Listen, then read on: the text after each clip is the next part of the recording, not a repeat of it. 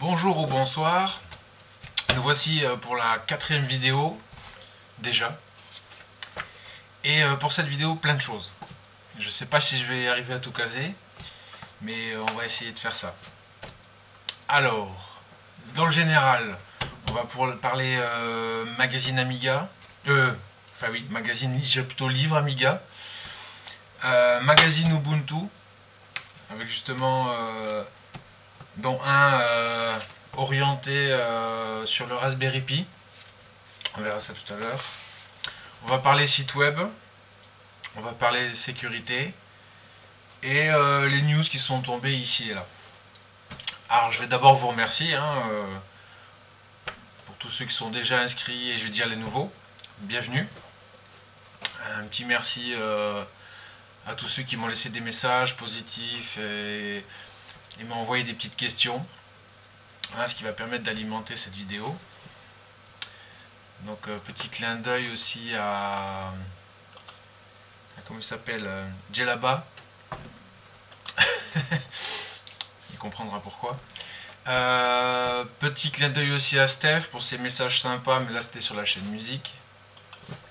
Bah écoute Steph, hein, c'est avec plaisir. Hein parce que sur l'autre chaîne, pour ceux qui ne savent pas, euh, de toute façon, il y a le lien en bas de la vidéo.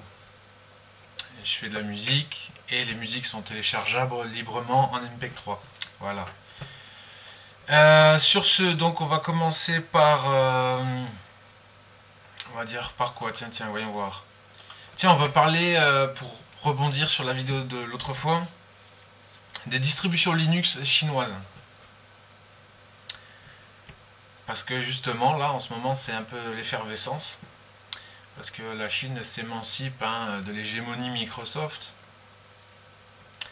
Et euh, du coup, on voit apparaître euh, une distribution donc euh, du côté de chez Ubuntu. C'est Ubuntu Killin. Donc, hein, distribution Ubuntu designée, orientée pour la Chine. Et une qui s'appelle Deepin 2014 Normalement, j'ai posté sur mon Google Plus euh, une vidéo de quelqu'un euh, qui a fait justement une petite preview. Donc c'est une distribution euh, Linux qui ressemble un peu à Windows 8, voilà, qui a des faux airs Windows. Ça permet aux gens qui connaissent Windows de pas, pas trop être perturbés par l'interface. Et la Deepin 2013, c'était sur Windows 7, je crois, etc., etc. Donc voilà. De toute façon, je mettrai des liens sous la vidéo hein, concernant ces sujets. Donc on va rebondir tout de suite sur les magazines euh, Linux, dont un qui est pas mal, qui s'appelle euh, Linux Family, et qui, euh, est livré avec deux DVD. Donc un DVD qui permet d'installer toutes, enfin dessus il y a toutes les versions donc d'Ubuntu, c'est une sorte de multi-boot. Donc il y a Ubuntu avec l'interface Unity, il y a Kubuntu avec l'interface KDE, Xubuntu avec l'interface XFCE et l'Ubuntu avec l'interface LXDE. Et enfin, il y a Ubuntu Gnome, hein, Gnome 3. Par contre, ces versions-là sont tous en 64 bits. Voilà. C'est le seul truc qu'on aurait aimé qui est à la limite 3 DVD, un en 32 et en 64. Mais bon, c'est déjà bien. C'est surtout, on va dire, euh, pour les ordinateurs de maintenant, vu que la plupart sont en 64 bits. Et après, le deuxième DVD, eh ben, c'est le Ubuntu classique, en français, euh, en 32 et 64 bits. C'est-à-dire c'est un, DVD double, face. Une face c'est euh, Ubuntu 32 bits et l'autre face c'est Ubuntu 64. Voilà, donc je vous le conseille. En plus, il y a plein de petites informations. Hein, euh, justement sur les autres euh, distributions euh, dans le même style. Avec les DVD double face à l'intérieur genre la Debian 7.4 qu'est-ce qu'il y a d'autre d'intéressant donc bah, comment installer Ubuntu 14.4 voilà. Il y a vraiment avec définition comment installer Ubuntu. C'est dommage que je ne l'avais pas acheté l'autre fois pour la vidéo j'aurais peut-être été plus précis sur certaines informations. Enfin bon vous conseille hein, de. Il vaut. Ah, il vaut quand même, oui, il vaut presque 10 euros, hein, il vaut 9,95 euros. Mais bon, il y a deux DVD dedans et deux plein d'informations. Je veux dire, 10 euros la distribution Linux avec un bon gravage. Non, ça va, ça, vaut le fait. dedans, ça parle du Secure Boot, hein, le fameux EUFI.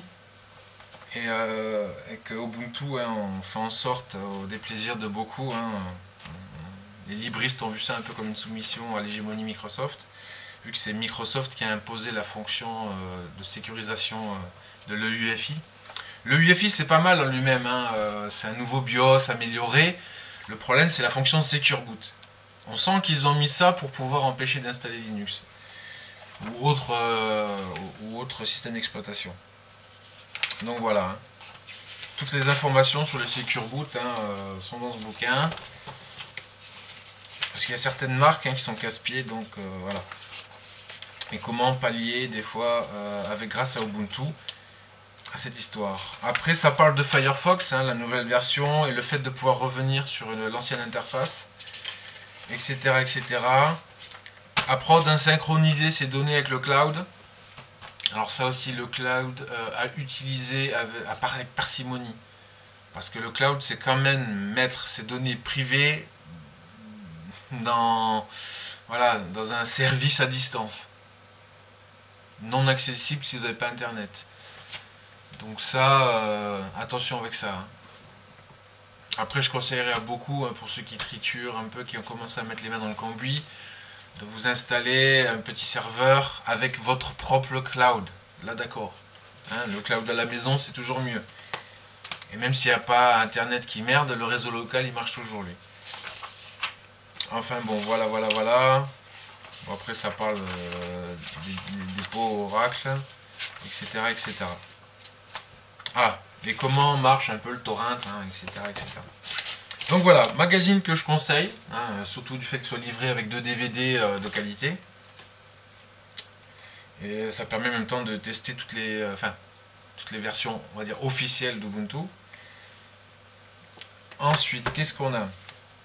Le Planète Linux, donc euh, juin-juillet 2014, hein, c'est le numéro 79, avec les, nouvelles distributions en lice. Hein. et euh, ça, parle aussi du Raspberry Pi, ça on va pas en parler tout à l'heure. Petit PC très intéressant. Et ça parle euh, des logiciels dédiés à la vidéo. Voilà, quel logiciel de montage euh, choisir et pour faire quoi. Bon, j'en parle de temps en temps vite fait comme ça. Hein. Moi, j'utilise, euh, je sais plus son nom. Euh, j'utilise, j'utilise, j'utilise un OpenShot Video Editor, voilà, pour faire le montage de mes vidéos. Voilà. Donc voilà, magazine plein d'informations. En plus dans un format petit, donc pratique. Donc ça parle voilà, de, des versions d'Ubuntu, Sparky Linux, Pibang, ça c'est pour Raspberry Pi, c'est des distributions dédiées au Raspberry. Euh, et après les distributions phares, hein, les bons côtés, les mauvais, etc. etc. Hein, histoire de prendre du recul. Hein, c'est bon de montrer aussi quand il y a des entre guillemets des petits défauts, ça permet justement de les corriger ou de, prendre du recul. Euh, ah, un truc pas mal, que faire de son IIPC Asus en 2014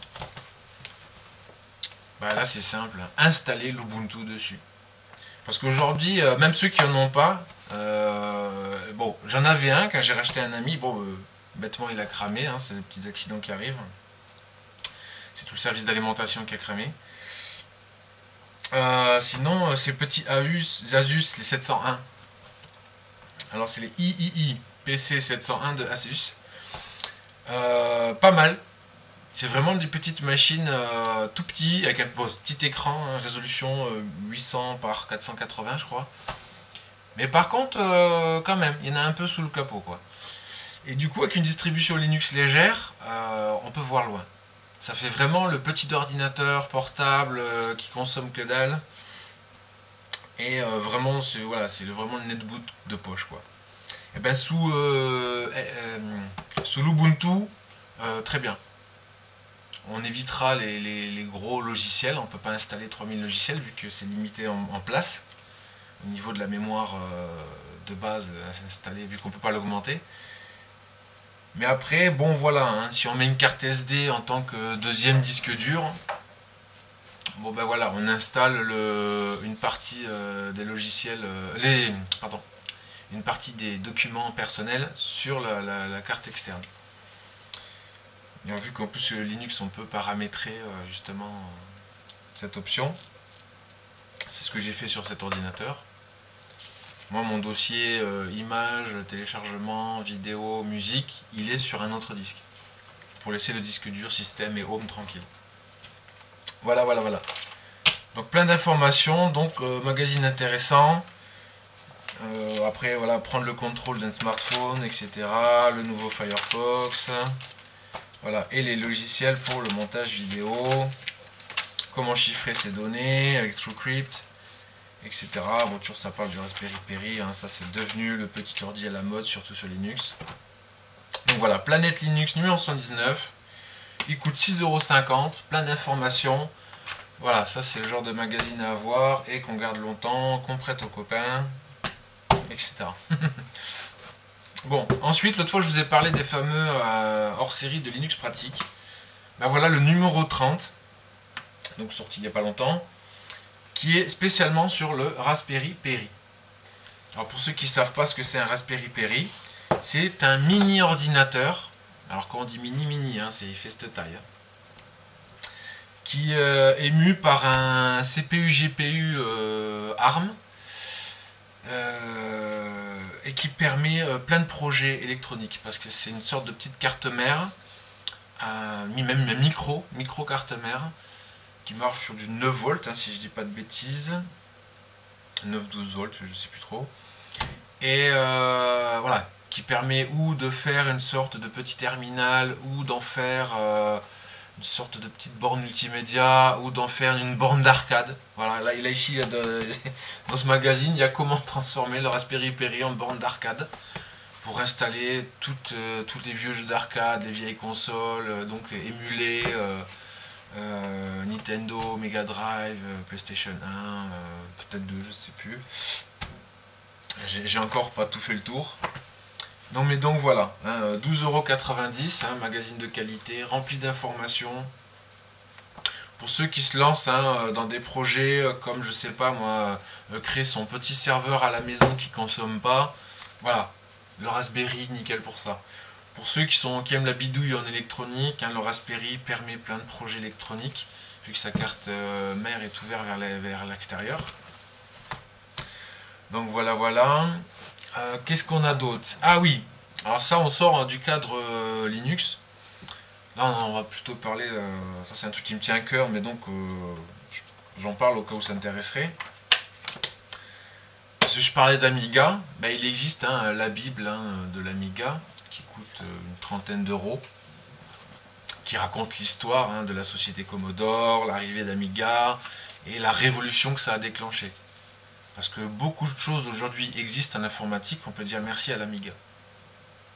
On vous fait croire que hein, le monde de l'informatique, euh, tout est né de euh, Mac et Apple, Mac et Apple et Microsoft. non. Surtout tout ce qui est en images, musique, informatique, enfin voilà. 3D, euh, ça vient beaucoup de cette machine. Voilà, tout ça c'est raconté dans ce bouquin, énorme bouquin, qui a, je sais pas, 400 ou je sais combien de pages. C'est un pavé, c'est un dictionnaire ce truc. Et euh, dedans, il a testé 1200 jeux Amiga. Donc voilà, c'est toute l'histoire de l'Amiga, les capacités sonores, graphiques, euh, et toute la passion que ça a déchaîné, plus des jeux testés. Voilà, tout ça pour une trentaine d'euros magnifique euh, bouquin à voir sur, cette machine. Il fait partie d'un des plus beaux. Et en plus, la préface, euh, il y a une préface de Marcus pour ceux qui regardent euh, Game One ou ce genre de, chaîne de télé orientée jeux vidéo. Donc voilà, hein, préface de Marcus, de son vrai nom Marc Lacombe, si je ne me trompe pas. Oui, Marc Lacombe, hein, voilà. la préface de Marc Lacombe. Grand fan d'Amiga aussi. Ben, il présente, euh, enfin il passe toujours hein, sur euh, tard le soir, sur Game One, euh, le rétro Game One. Voilà, c'est celui qui présente rétro Game One. Donc voilà la petite aparté sur l'Amiga. Attention, je mettrai des liens hein, pour ceux que ça intéresse, pour ceux qui le veulent l'acheter, etc. etc. Euh, qu'est-ce qu'il y a d'autre?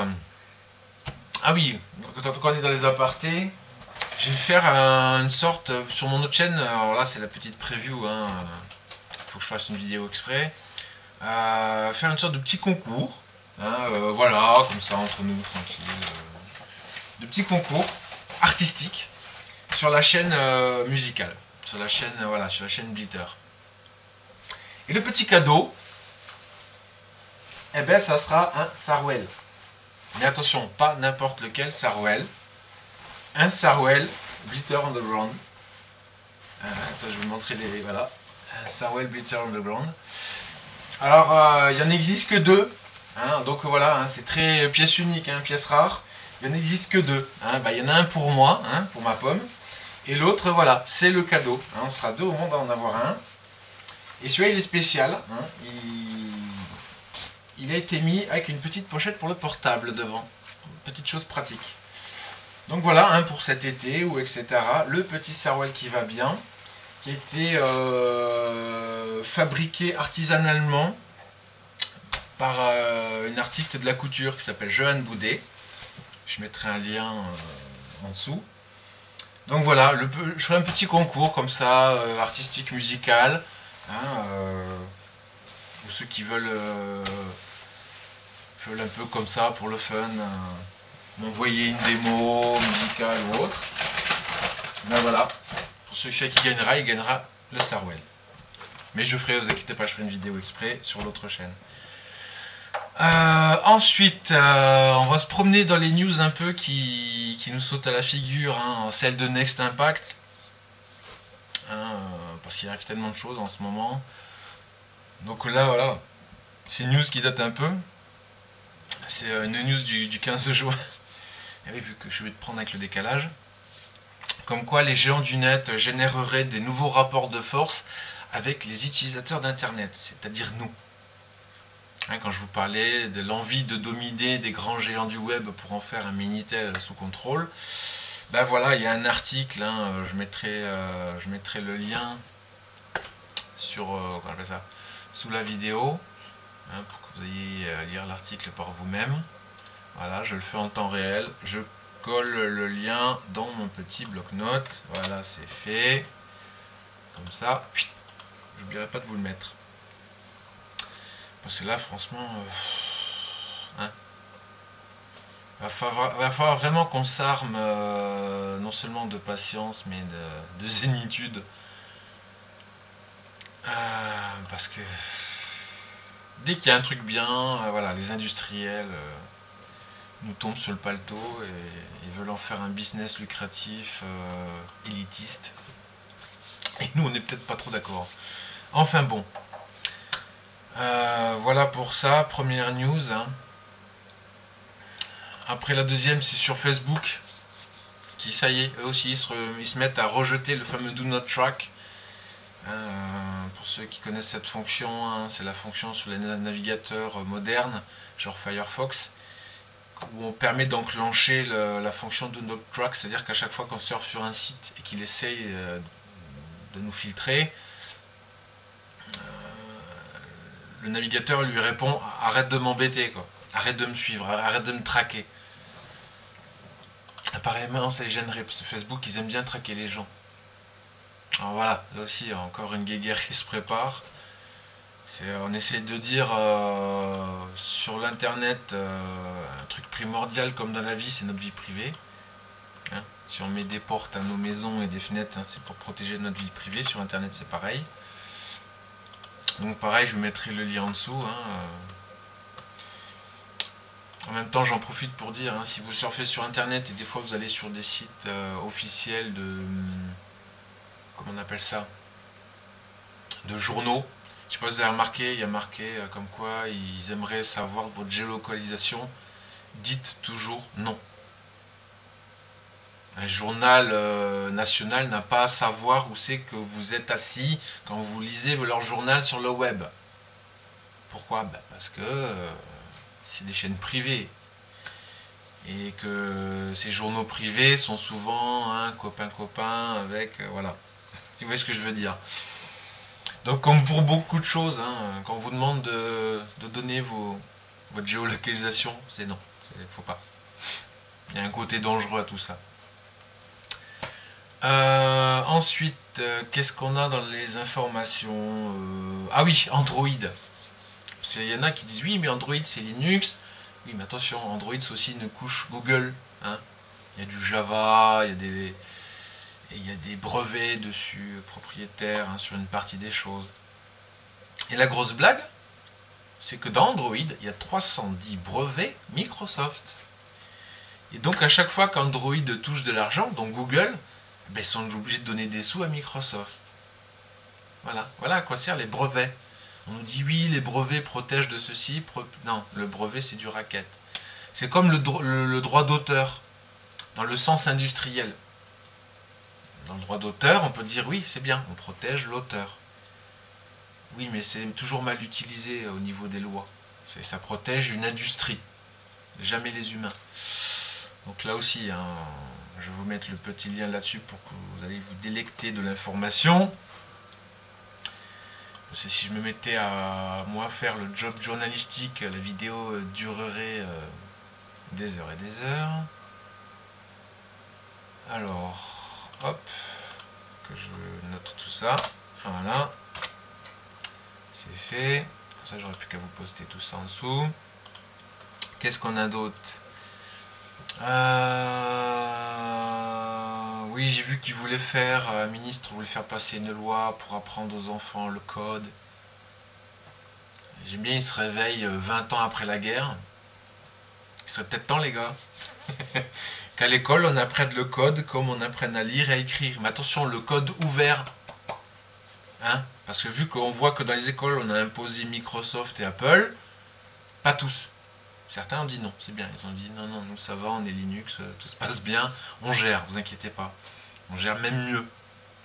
Bizarrement, les gens qui ont été euh, en contact avec du libre, en sortie de chaîne, il en sort des utilisateurs avertis euh, qui ont la maîtrise. C'est pas forcément hein, des, des, génies du code, mais au moins leur informatique, ou le monde de l'informatique et l'électronique, bah, il se laisse pas avoir hein, par le, miroir aux alouettes, du paraître, euh, du euh, laisse tomber ta vie privée, regarde, il y a un jeu marrant. Voilà, l'effet de détournement à chaque fois. Toujours ce que fait Apple, Microsoft, hein, le côté bobo, bling bling, euh, regarde le super jeu, regarde la super application, pour mieux te pister, te filtrer, t'espionner, te contrôler, etc., etc., et, faire de toi un consommateur.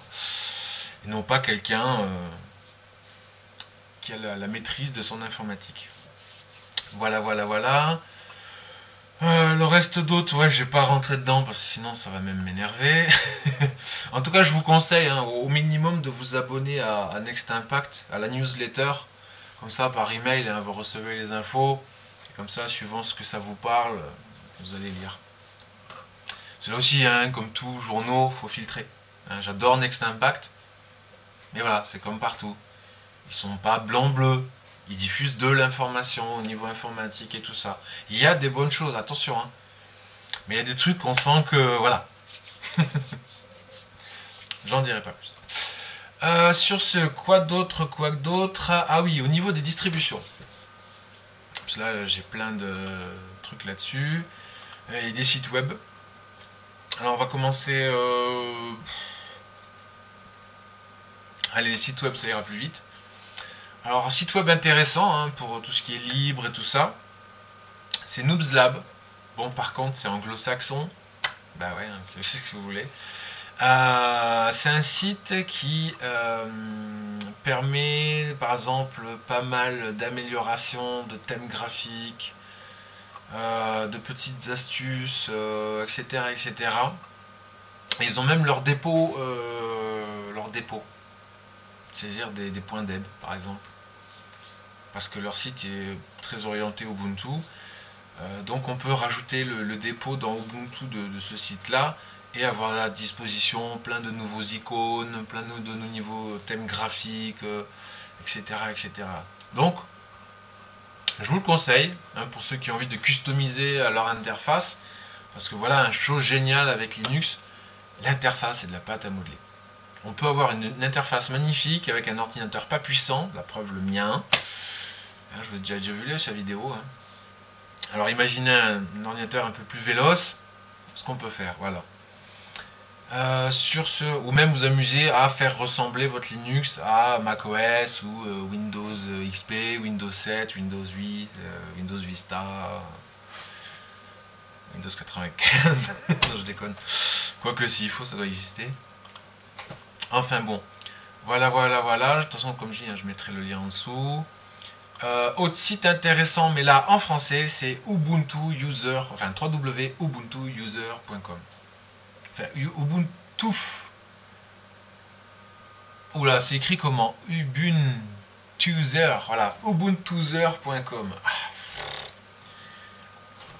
faut qu'ils arrêtent avec les orthographes. Mais bon, il est en français. Le site est compliqué à prononcer, mais il est en français. Donc pareil, hein, là c'est orienté Ubuntu. Hein. c'est le site français qui parle d'Ubuntu, des nouveautés, des petites infos euh, et des trucs sympas. Voilà.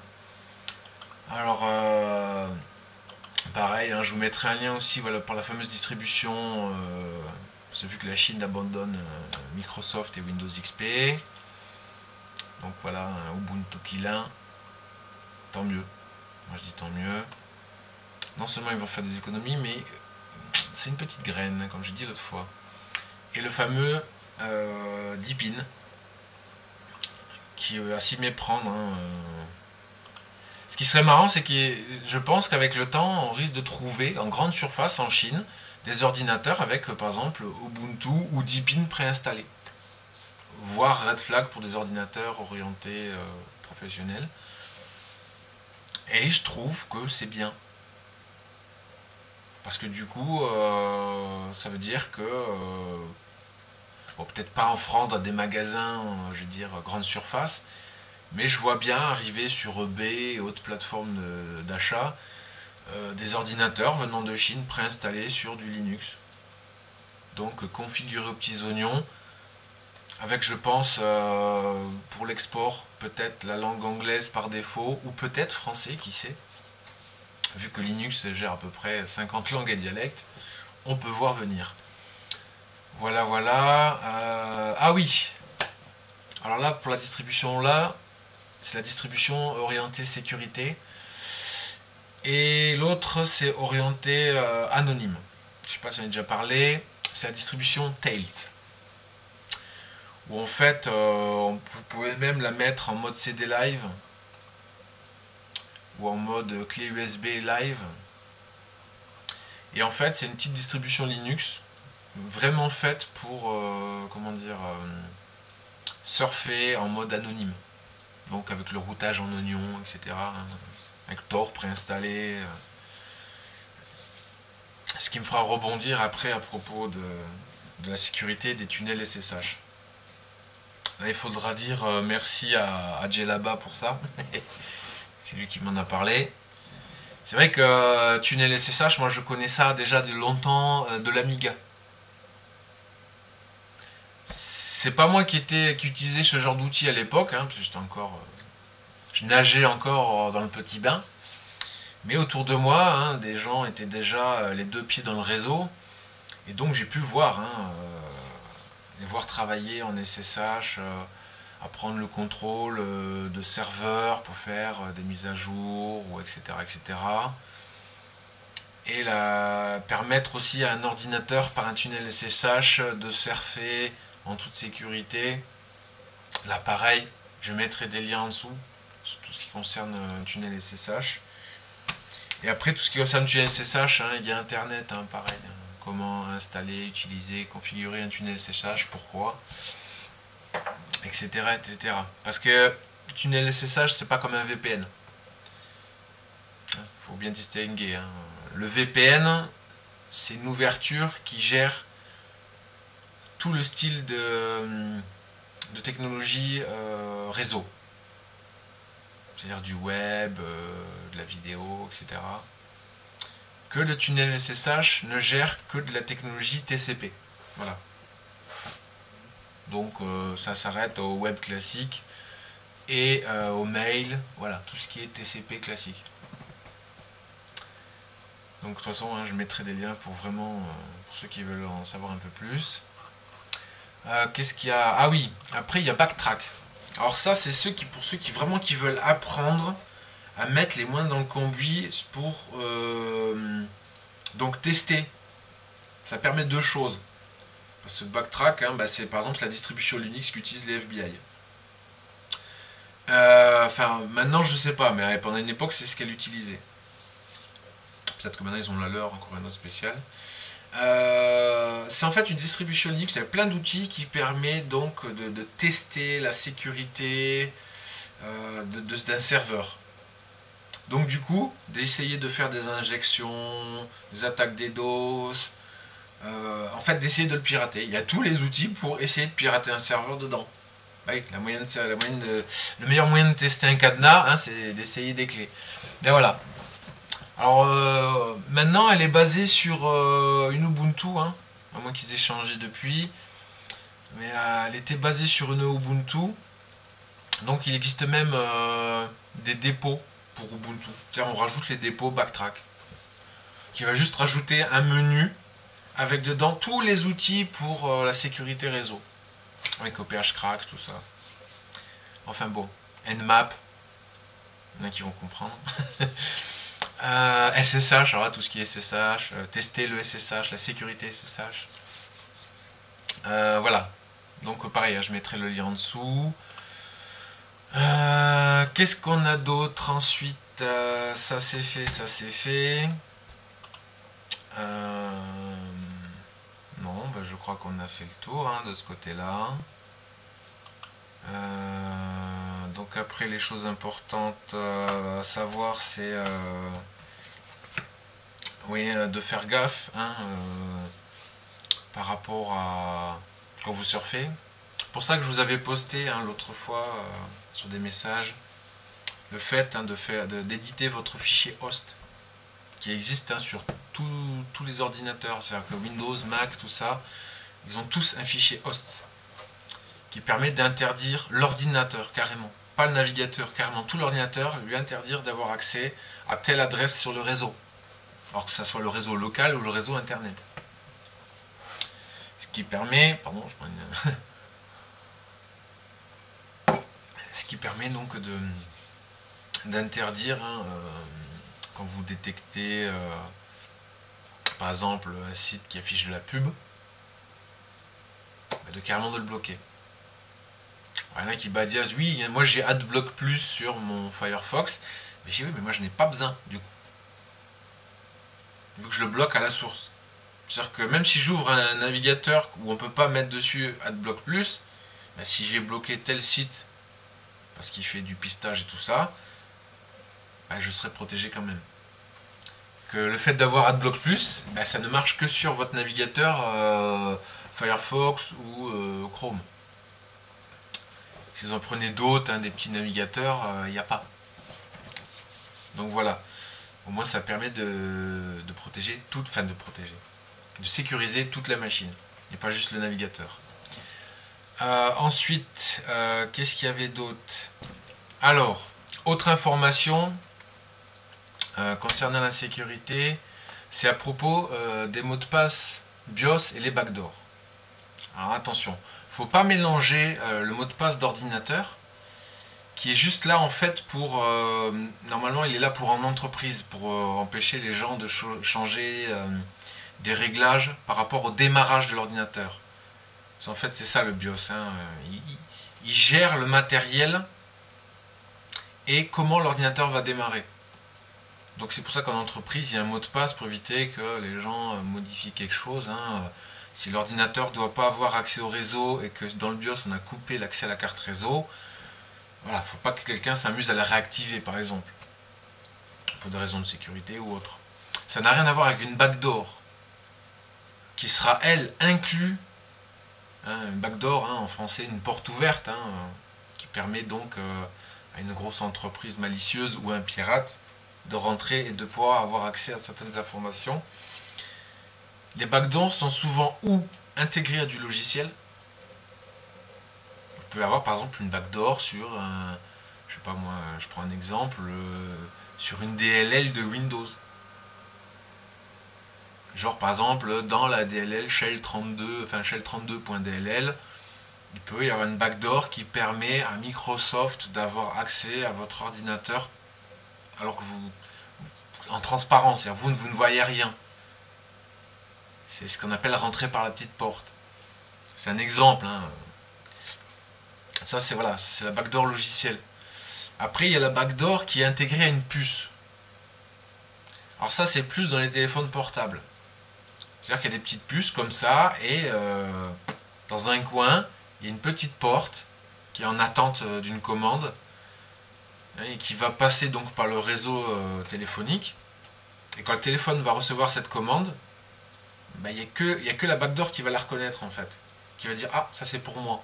Et qui va permettre par exemple à Apple ou le fournisseur d'accès, ou les deux, hein, ça dépend s'ils sont en connivence ou pas, d'avoir accès au contenu de votre téléphone ou d'activer ou couper quelque chose de votre téléphone. Style euh, activer à distance la localisation GPS de votre téléphone alors que vous, vous l'avez coupé? Donc euh, pourquoi ne pas avoir d'iPhone pour ce genre de bestiole? Parce que là, vous pouvez jailbreaker ce que vous voulez. Ce genre de fonction-là, euh, non. Elles sont dans les puces, elles sont pas dans le firmware, donc non. enfin voilà petit aparté au niveau de la sécurité réseau et machine. Après, autre chose. Euh, à propos de, Linux et des Mac. Donc oui, hein, sur, des, sur des Mac, des Mac Intel, hein, ce que j'appellerais des faux Mac. Oui, les Mac étaient PPC hein, et 68K avant. Donc les Mac Intel, on peut installer Linux. Je l'ai fait plusieurs fois. Sur certaines distributions, bon, faut aller un peu taper dans le combi. Euh, par exemple, là, c'était la distribution 10.4, si mes souvenirs sont bons. Euh, ouais, il fallait aller taper dans le combi parce qu'il y avait un problème avec la carte son.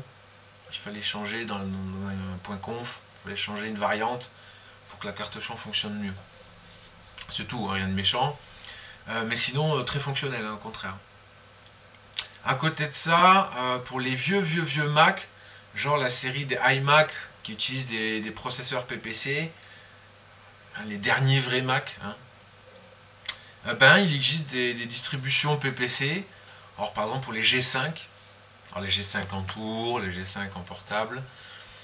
Alors suivant lesquels, il faudra prendre, il ou sera compatible des versions récentes ou pas.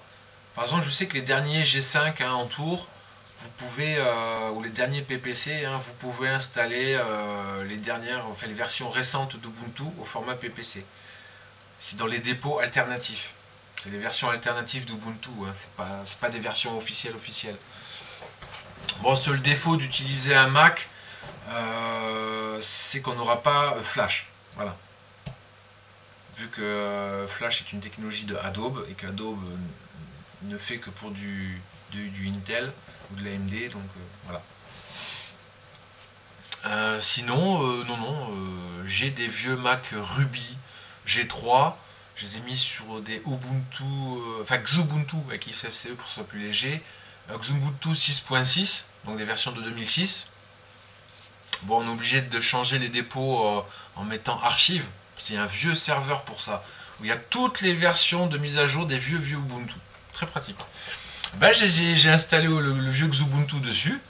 Marche très bien. J'ai installé traitement de texte, tableur, euh, euh, GIMP, euh, des jeux. Marche bien. Bon, le navigateur web, il n'est pas à jour, hein, c'est sûr. Hein. Bon, de toute façon, ce genre de, vieille machine date de 2001 quand même. Hein. comment dire On s'en sert plus, voilà, pour en faire une petite machine de jeu ou une petite machine pour faire des petites babioles. Certains se sont amusés à en faire un serveur. Voilà. enfin bon, mais on peut. Il hein, ne faut pas les jeter. Ou vous les vendez à des musées de l'informatique, euh, ou vous installez un Linux dessus. Ah, il suffit de booter sur le CD. Hein. Je crois que sur Mac, il faut laisser le doigt sur je sais plus quelle touche. Une touche bizarre comme ça qui fait un peu comme le logo de, du USB ou du Firewire, je sais plus, pour pouvoir avoir la sélection de démarrage. disque dur ou CD, vous sélectionnez CD, vous démarrez sur le CD Linux, vous installez, vous redémarrez, ça marche. Et du coup, euh, votre Mac, il est même compatible avec des choses qui n'étaient pas compatibles avant. Genre les gros disques durs USB, euh, ça marche très bien. Hein. Alors qu'avant, avec le Mac OS 9, non. Enfin voilà. Hein, Linux permet plein de bizarreries, etc., euh, etc. Ah, petit message. De qui, de qui?